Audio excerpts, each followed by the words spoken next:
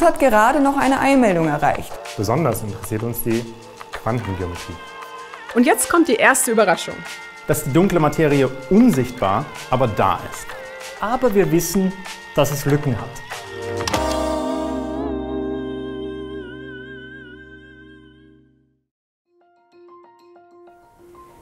Uns hat gerade noch eine Eilmeldung erreicht. Gesucht wird die dunkle Materie. Denn genau sie fehlt den WissenschaftlerInnen noch, um 100% alle Materie, die uns umgibt, beschreiben zu können.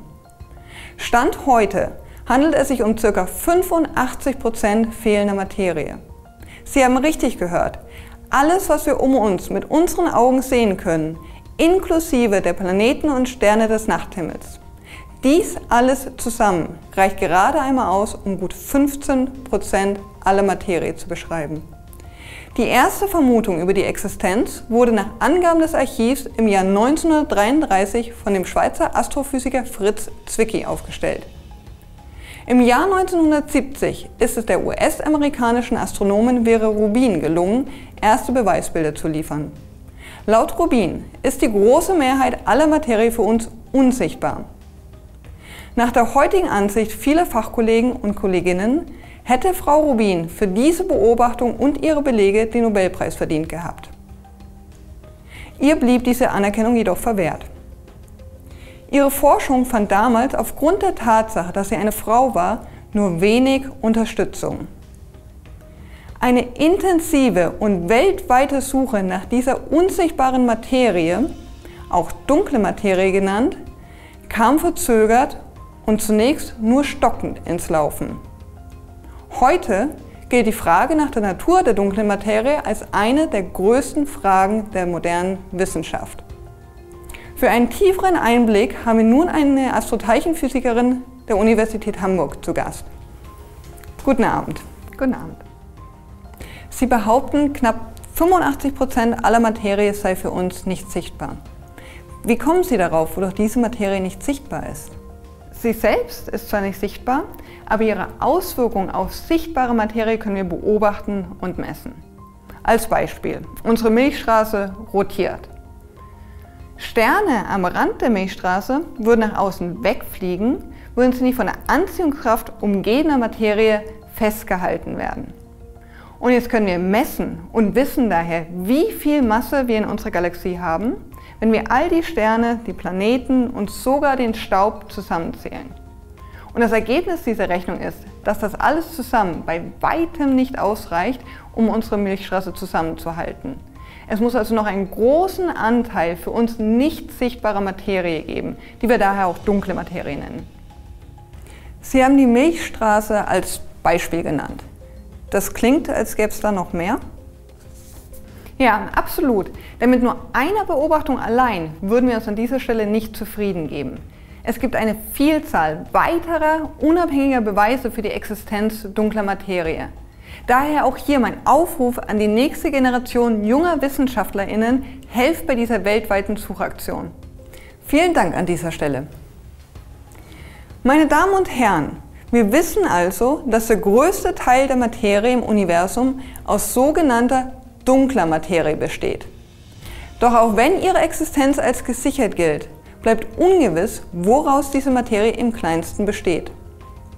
Dass sichtbare Materie aus kleinsten, elementaren Teilchen besteht, gilt als bewiesen. WissenschaftlerInnen haben daher die Hypothese aufgestellt, dass auch dunkle Materie aus elementaren Teilchen aufgebaut ist. Nun gilt es, diese Teilchen aufzuspüren und zu identifizieren. Theoretische PhysikerInnen erstellen hierfür Phantombilder. ExperimentalphysikerInnen nutzen dann diese Phantombilder, um in ihren Daten nach Spuren zu suchen, die zu diesen Bildern passen. Sie versuchen also, diesen Phantombildern ein Gesicht zu geben. Fragen wir doch noch einmal unsere Expertin, wie wir uns eine derartige Suche vorzustellen haben. Wie suchen Sie nun nach dunkler Materie? Es gibt viele verschiedene komplementäre Ansätze. Der Ansatz, den ich verfolge, nutzt die Tatsache, dass wir von dunkler Materie umgeben sind und dass die Teilchen permanent durch alles, was uns umgibt, durchfliegen, also auch durch unsere Messgeräte. Und unsere Messgeräte in meiner Forschung sind extrem kalte Kristalle. Und mit extrem kalt meine ich ca. 200 mal kälter als das Universum selbst. Also nahe dem absoluten Nullpunkt bei ca. minus 273 Grad Celsius. Und die meiste Zeit fliegen die dunkle Materieteilchen einfach durch die Kristalle durch, ohne dass irgendetwas passiert. Aber wir erwarten, dass sie, wenn auch sehr, sehr, sehr selten, immer mal wieder gegen einen Atomkern oder ein Elektron stoßen. Und wenn sie das tun, fängt der ganze Kristall an zu vibrieren, weil das betroffene Atom mit den umgebenden Atomen im Kristall verbunden ist. Und Sie kennen das selbst, je mehr man sich bewegt, desto wärmer wird einem. Ähnlich ist es in dem Kristall. Die Vibrationen führen zu einem minimalen Temperaturanstieg, den wir mit unseren hochsensiblen Thermometern messen können.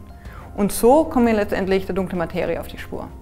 Ja gut, aber können nicht auch normale, sichtbare Materieteilchen zu derartigen Vibrationen führen? Das ist korrekt. Wir müssen also zunächst alle Spuren sichtbarer Materieteilchen identifizieren und ausschließen. Wie Spuren an einem Tatort von unschuldigen Zivilisten. Und wenn wir alle unbekannten Spuren identifiziert haben, zum Beispiel einen Fußabdruck, dann nehmen wir diese und vergleichen die mit unseren Phantombildern. Passt zum Beispiel dieser Fußabdruck zu einem unserer Phantombilder? Oder im Fall des, dieser extrem kalten Kristalle passt die Höhe des Temperaturanstieges zu einem der dunkle Materie-Kandidaten. Und je sauberer wir also diese Spuren trennen und je genauer die Phantombilder sind, desto sicherer können wir also sagen, ob es sich um dunkle Materie gehandelt hat oder nicht. Und wenn Sie dunkle Materie identifiziert haben, was stellen Sie dann mit diesem Wissen an?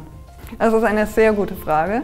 Sobald wir die dunkle Materieteilchen identifiziert haben, wird es uns eine ganz neue Perspektive auf die verschiedensten Bereiche geben. Zum Beispiel den Bereich der Raumfahrt, aber auch der Energiegewinnung oder der Kommunikation. Im Detail werden wir es wissen, wenn wir die dunkle Materieteilchen identifiziert haben. Ihnen weiterhin viel Erfolg bei Ihrer Suche und einen schönen Abend. Vielen Dank.